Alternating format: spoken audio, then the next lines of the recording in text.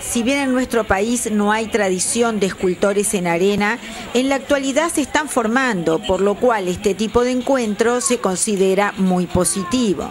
Al ver una escultura, un esbozo de escultura en la playa, me propuse eh, crear un, encuentro de escultores y, ¿por qué no?, de latinoamericanos. En aquel momento, en el Uruguay no habían escultores de arena, es decir, este, recién ahora se están formando, después de que Castillos de la Arena ha empezado.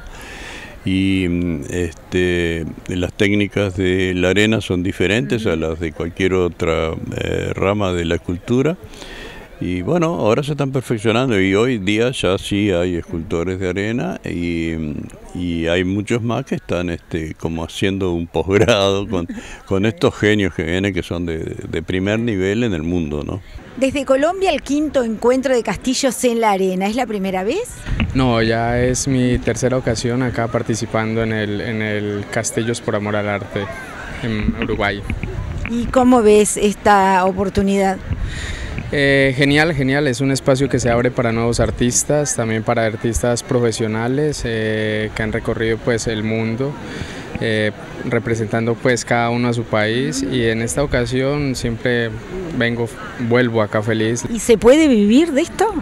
Claro que sí, es mi profesión, gracias pues al don que me ha regalado la vida, he tenido la oportunidad de representar a mi país en nueve, en nueve nueve países, valga la redundancia. He ocupado algunos primeros lugares en, otro, en otros países y bueno, estamos acá en este encuentro que no es concurso, pero es eh, un encuentro bonito porque es de confraternidad. ¿Cuál es el secreto para realizar una cultura en arena?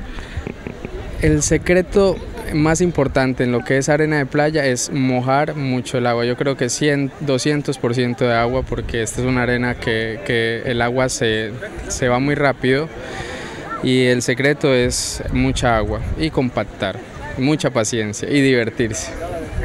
Es el tercer año que, vengo a, a, este encuentro de esculturas en arena y este año vinimos con un equipo, somos tres, pero incursioné en, en la arena, en el este, en el segundo encuentro, creo, Dumas, que, que, vine. Y bueno, ahí aprendí la técnica de, Cali Molina, de Rubén Rebata, que este, el mexicano, el peruano, y ellos son muy abiertos y siempre están dando piques. Para los organizadores, además de una actividad cultural, es una forma de promocionar el balneario.